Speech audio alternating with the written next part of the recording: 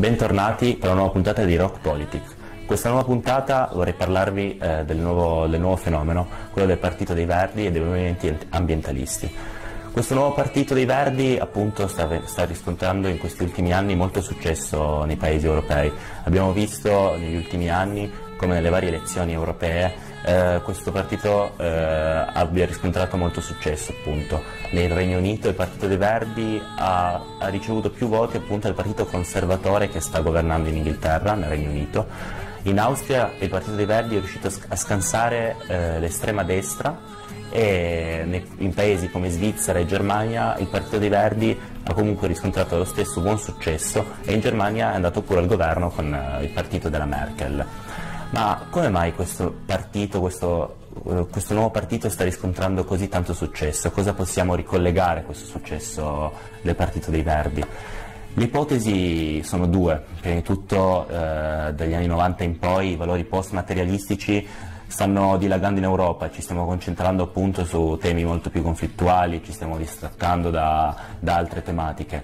Ovviamente in Europa la tematica principale rimane sempre l'immigrazione, come appunto abbiamo, possiamo notare nei, nei dibattiti televisivi, nei, nei, dibattiti politici.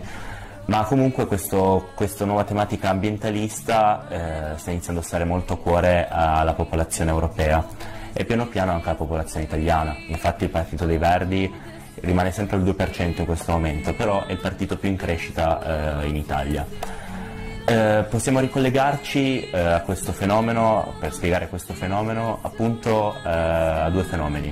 Il primo è quello di, di, Greta Thunberg, la ragazzina svedese, l'attivista svedese, che con le sue giornate, le Fridays for Future, è riuscita appunto a mobilitare i cittadini, soprattutto i giovani, nelle varie città d'Europa. Abbiamo notato a Torino grande mobilitazione nei centri storici, in piazze, ma anche in giro per, per l'Europa. Abbiamo notato col Black Friday appunto questi, questi movimenti anticonsumisti in giro per il mondo, a Tokyo, in Australia, mossi appunto da, dall'attivista svedese Greta Thunberg.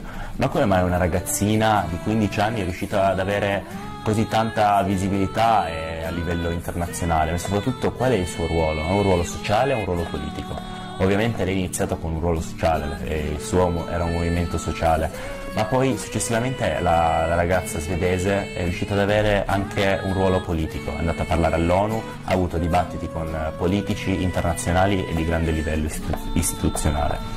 Questo fenomeno io appunto lo ricollegherei a diciamo, al sostegno che è stato dato a Greta Thunberg dalle nuove, dalle nuove industrie, dalle nuove aziende che si occupano di sviluppo sostenibile, che stanno avendo sempre più risorse e più visibilità. Appunto un esempio lampante è quello di pochi giorni fa della Tesla, l'agenzia, l'azienda eh, di marketing gestita dal CEO Elon Musk, che appunto si occupa di, di creare eh, nuovi, un nuovo mondo quello che appunto guardavamo nei cartoni animati da piccoli, da, per esempio in Futurama, creare appunto queste nuove macchine che voleranno, che si guidano da sole. Comunque Elon Musk in, ultimo, in, questi ultimi anni è riuscito ad avere molta più visibilità grazie anche alle sue strategie di marketing, come abbiamo visto appunto con il, con il suo lancio del pick-up, del nuovo pick-up, che già ha riscontrato molto successo. E Elon Musk possiamo, possiamo dire appunto che è il nuovo lobbista ambientalista nel, nel, mondo, nel mondo attuale. Infatti questi nuovi movimenti appunto a favore dell'ambiente avranno comunque, sicuramente hanno del sostegno da, grazie a interessi forti alle spalle. Infatti secondo me possiamo ricondurre appunto questi movimenti sociali, questa visibilità di Greta Thunberg al capo ambientalista appunto Elon Musk che appunto ha regalato anche una Tesla eh, alla, alla, ragazzina, alla, ragazzina, svedese. Quindi eh, secondo me questo nuovo fenomeno, eh, questo nuovo fenomeno ambientalista diciamo che potrà mettere in difficoltà eh, le lobby eh, petrolifere assolutamente. Infatti diciamo che eh, Elon Musk è già riuscito a riscontrare molto successo in giro per l'Europa negli Stati Uniti Trump, appunto, come, il, come dice il detto, di tenersi i nemici vicino a sé, è riuscito a farlo entrare nel, appunto, nel, tra i suoi consiglieri.